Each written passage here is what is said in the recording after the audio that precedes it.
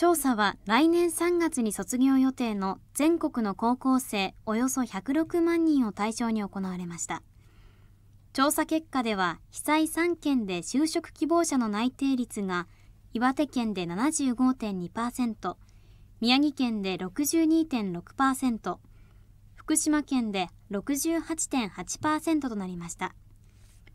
去年の同時期に比べ3.4ポイントから4.9ポイント高く引き続き上昇傾向となりました。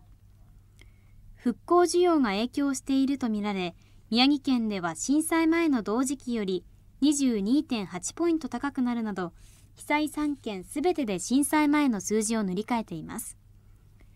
国内全体でも内定率は改善傾向で10月末現在で64.1%と最終的に95.8%だった去年の同時期と比べ